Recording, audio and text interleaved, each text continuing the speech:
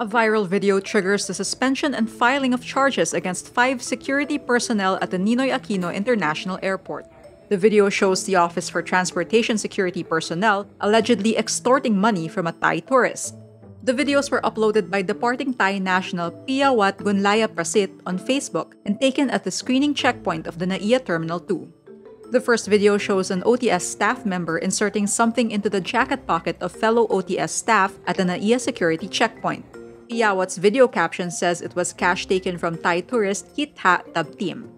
The second video shows Kit Ha telling the security screening officer to return the 20,000 Japanese yen taken from him. The OTS personnel returns the money, while the security screening staff asks Piyawat to quote, delete the video. The OTS releases a statement saying it has identified the officers, relieved them from duty, and filed criminal and administrative charges.